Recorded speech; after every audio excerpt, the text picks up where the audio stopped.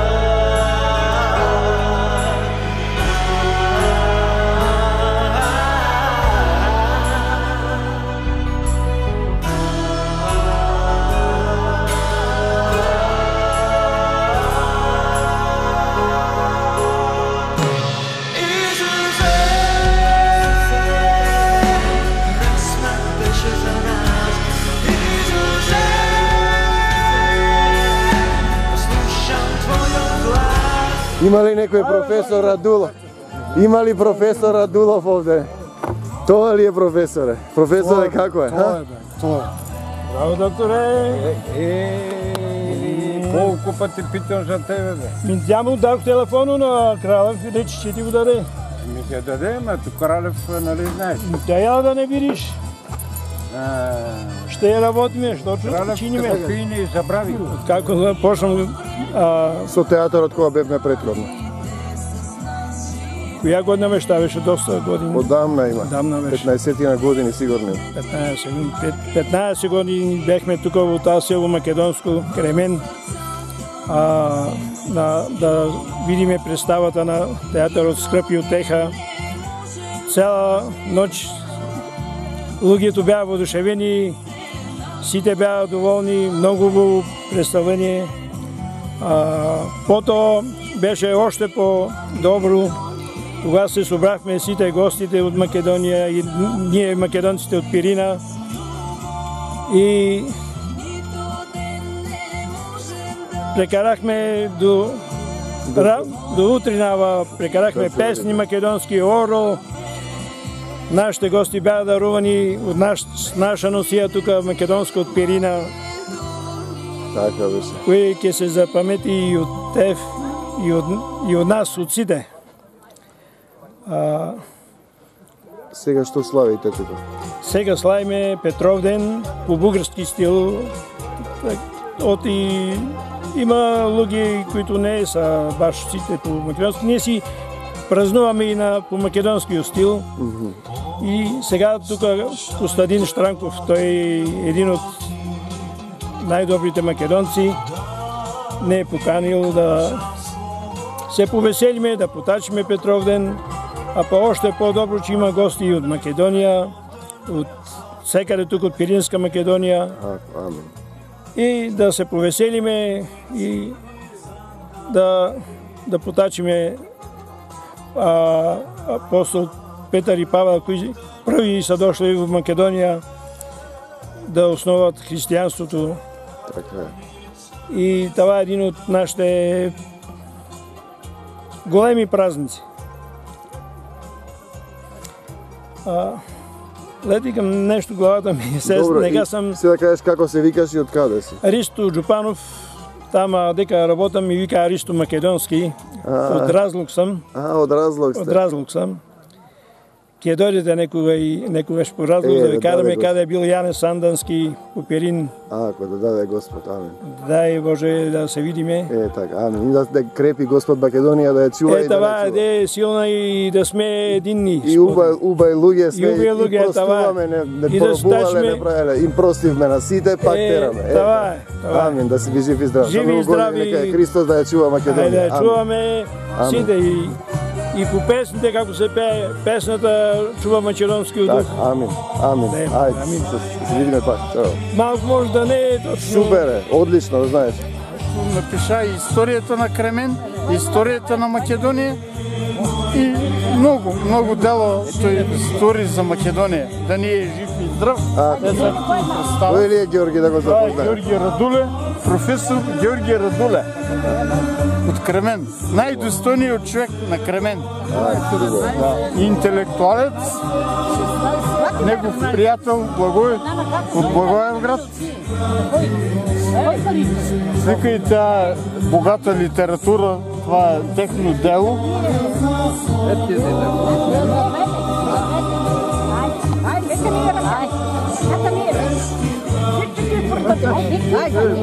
ја држи јако.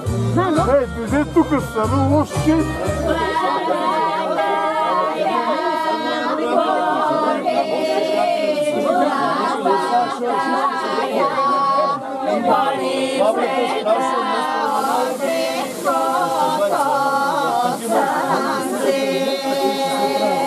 Lava, prepara, salas fetas, saramenosas, amigos.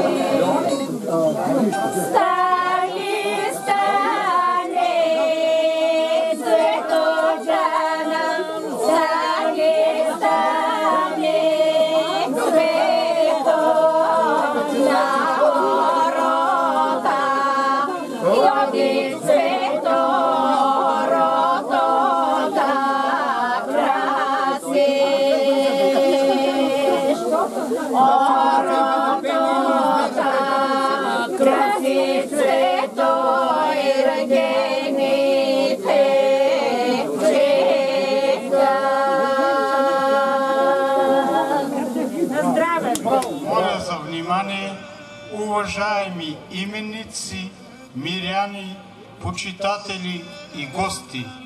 Добре дошли на култовата, религиозна и историческа местност Петрова црква и Параклис Свети Петар.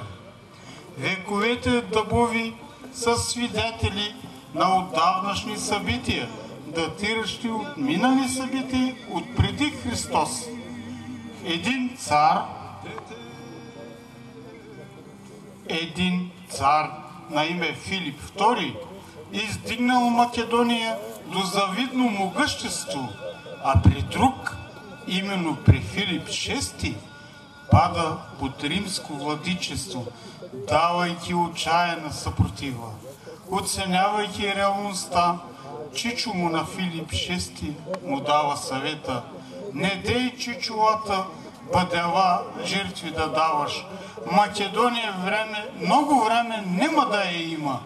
Земи пари от хазната и се настани при малко обитаемо место на река Места.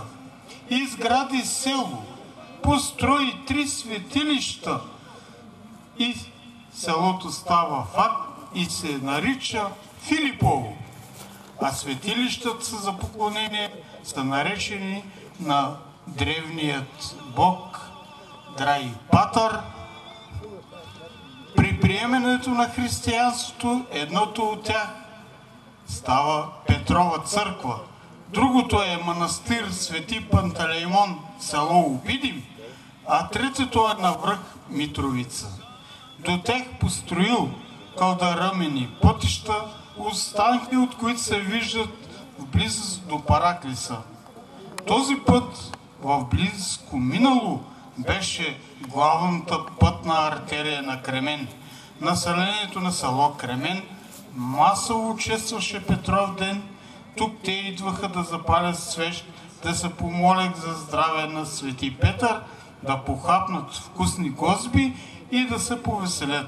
Празника превършвал с кушия, бегване с коне до селото, където победителят бил награждаван с кофа мелнишко вино от местния кръчмар Георги Таков.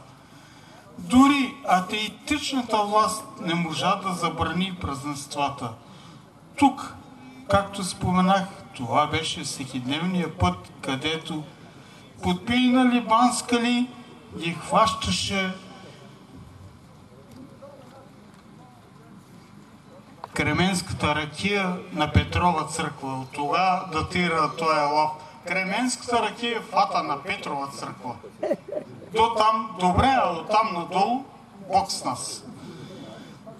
Тук се се родили и получили първо, първа глътка въздух двама наши съселени, а именно Данка Георгиева Каракушева и Петър Димитров Цуков. Да им пожелаем здраве и да дълголетие, а Петар може и да почерпи.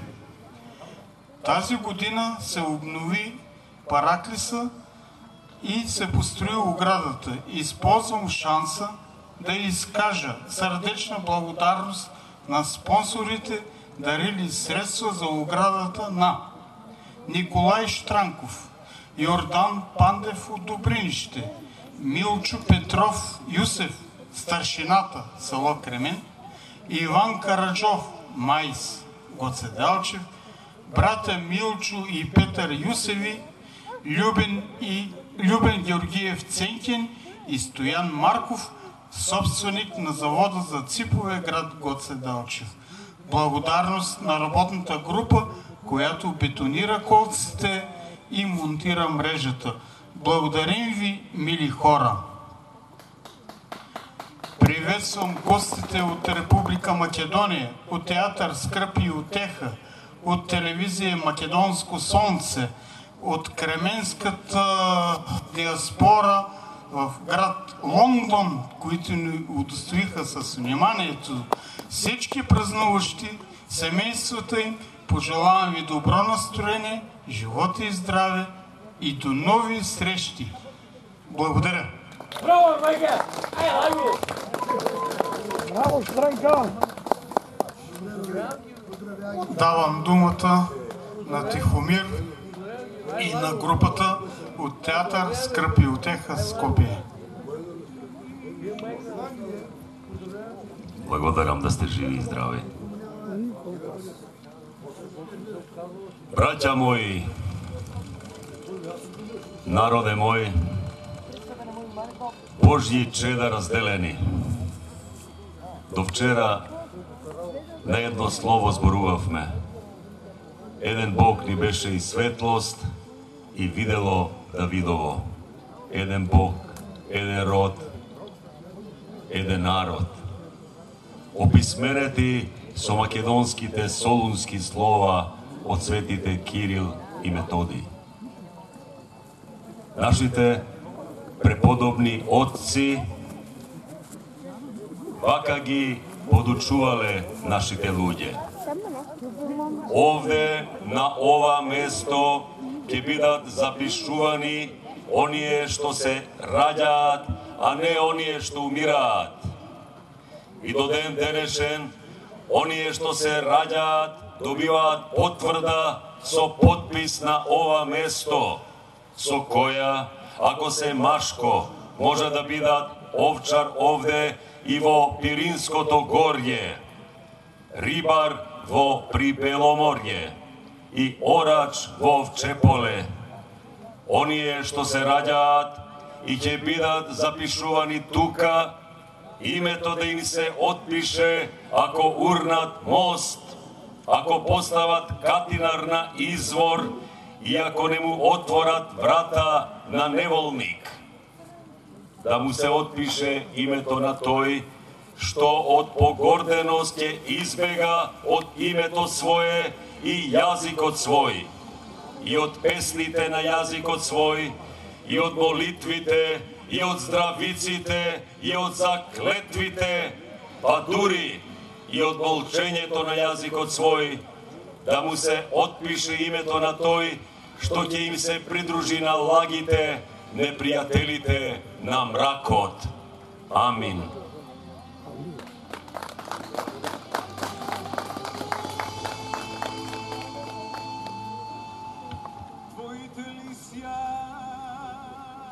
Таму некаде пред нас е Бог, кој ни го определил последното искушение.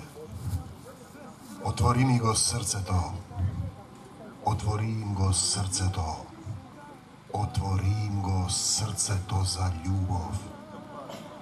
Кој сум јас, раб Божи, срцем и духом и душој своју глаголав молитву. Ти благодарам, Татко Небесен, што си ги создал македонците, мојот народ и Твојот народ. Зошто, Господе, Татко Небесен, Ти го испрати апостолот Павле во Македонија, заедно со Петар, да го шират Евангелието. Ах, колку си не возлюбил, Татко Небесен. И Ти ни велиш, не бој се, не бој се, мало стадо, сум ви приготвил Царство Небесно. Македонците се создадени од Бог. Никој не може да ги избрише. Запишани сте во Божиот катастер со доаѓањето на апостол Павле. Иако не не запишуваат во европските и земните катастри. Вие сте светлината на светот. Не може да се сокрие град што се наоѓа на врв планина, светило се става под поклоп, туку да свети на сите вкуки. Така треба, така треба да свети македонци и вашата светлина, за да ги видат вашите добри дела, за да го прославите Таткото Небесен. Зашто вие сте избрани, зашто вие сте дарувани, имате се, ви е дал убавата земја, која треба да се сочува, да се сака, да се љуби, да се сонува и да се простува. Не ни дал да се мразим и да се убиваме. Зашто е пишано, љуби го својот ближен како самиот себе си. Тоа подразбира да се љубат и македонците од сите четири соседи. Тоа е пораката од Бог. А ние треба да им простиме што не поништувале, што не убивале, што не делеле, што не ни го признаваат јазикот кој е даден од самиот Бог, бидејќи свети Кирил и Методија, свети Климент и Наум, беа војници молитвени на Исуса Христа и тие ги даруваа словата. А вие знаете дека е пишано на подшетокот беше Словото и Словото беше во Бога и Бог беше Словото. Тогаш Словото кое ви е дадено е во вас и вие сте во Бога. Тоа сакам да ви кажам, да се облечете во Божијата љубов, зашто вие сте македонците. Вас ве запишал Господ и никој, никој друг не може да ви избрише. Вие сте светлината на светот. Бидете благословени во мир, љубов и долгоденствие.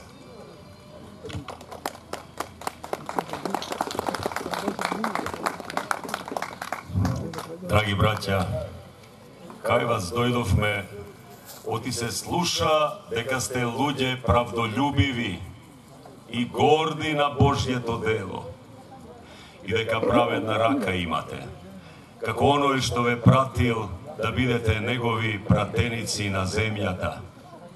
А јас самиот несовршен, кон тоа што е ваш душевен мир и спокој се стремам да ви се придружам да дојдов. Знам да живеам и во скудност. Знам да живеам и во изобилие. Научен сум на се и секако. И сит да бидам, и глад да трпам. Се можам преку Исуса Христа кој ме крепи. А знаете ли вие, македонци, дека на почетокот на благовестието, кога дојдовме во Македонија, немаше ниту една црква нешто да ни даде или нешто да примиме од вас, освен вас самите. Така што станавте образец за сите верници, не само во Македонија и Ахаја, туку во целиот свет се пренесе славата за вербата ваша во Бога.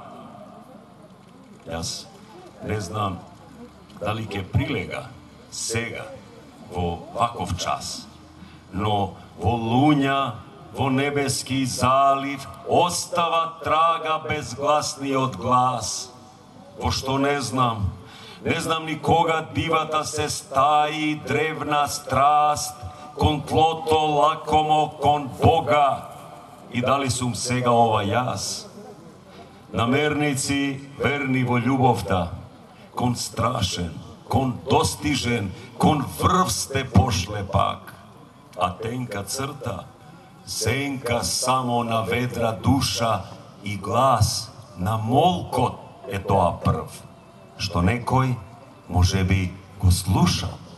секако. Не во мигови на очај, што години биле столетија, е Сум можел без зазор и клетва да срочам, најсурова клетва, да не сум сонив, и моето величие по судба ме дели од се што љубам, оти во таква ведрина тажна, сум зел јас право и завет да губам. А потомците ста писани, ги гледам смерни во ред, се спушта и ангел во лед, кон лепа церков на колнати места. Добро, браќа, што племе сме биле, што накот, што мисла зла ни сматила вид, ангелот кацнал трепери, јас се не говор на зракот, божествена гледка, на Бога е реч, цела Македонија пак да се збере на древниот повик, на древна вера. Не одмазда сега, не омраза за сега, не замавна меч. Браќа и сестри, љубов, љубов, љубов ни треба.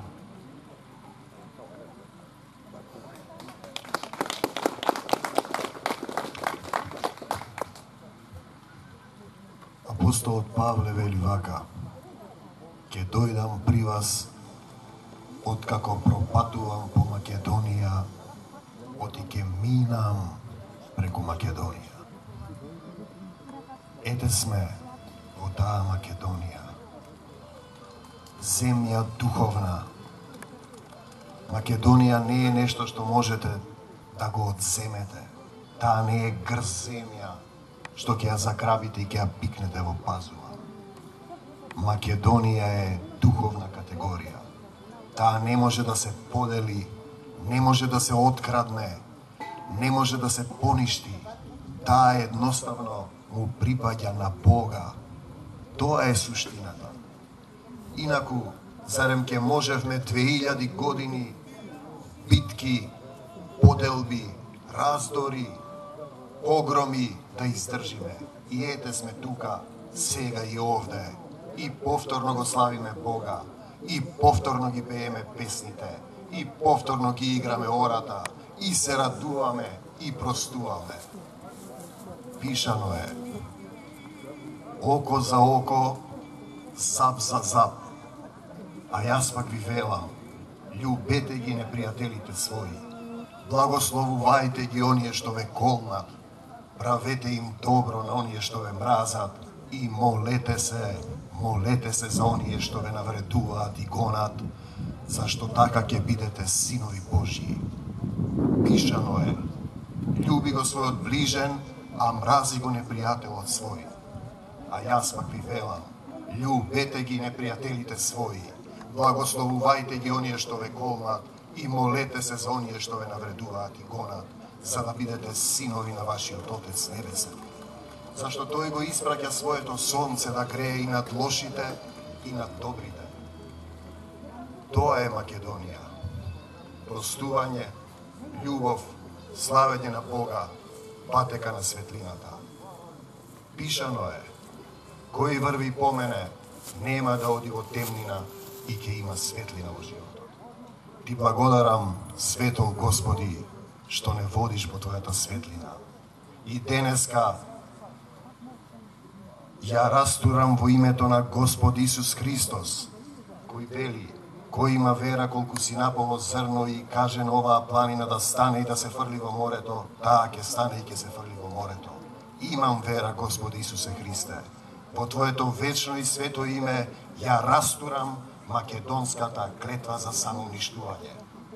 И те молам да ни испратиш луѓе, да живееме во мир, љубов и долгоденствие, зашто Македонија е Твоја земја, да Тебе ти припаја, Ти си не создал и нема да дозволиш никој, никој да го промени тоа, зашто тоа е волјата Господова. Бидете благословени во мир, во љубов, во долгоденствие, во заедништво, да ги пееме песните, да се собираме, да се намножиме, да го славиме Бога. Амин.